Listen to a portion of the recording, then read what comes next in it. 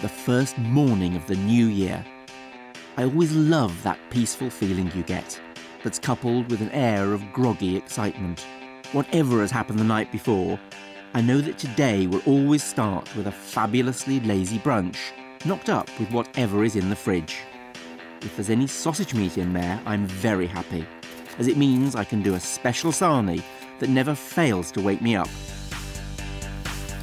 All it involves is a few thinly sliced bits of red onion, fried with a few sprigs of fresh thyme, a good handful of sausage meat, or you can just skin any bangers that you have going spare. Toasted bread always works better with this one, I reckon. Secret ingredient, little bit of fresh lemon zest.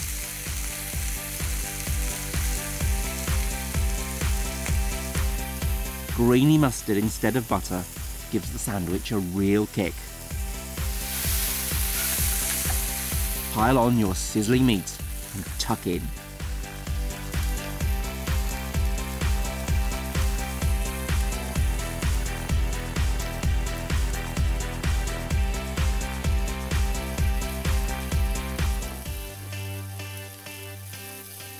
It's completely scrummy.